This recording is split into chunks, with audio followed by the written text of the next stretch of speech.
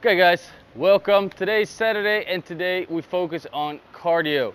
Today's cardio workout is a long EMOM in which we have no rest. So that means that you recover in your movements. We have a 400 meter run followed by 50 wall balls in the wall balls, you want to make sure that you can keep on moving. So what you want to do with your wall balls is exhale on the way down. You want to breathe out when you catch the ball and inhale when you throw the ball. This way, when you get small, when you get compressed, all the air already comes out anyway. So why make it harder on yourself? Just exhale on the throw, inhale when you throw it up.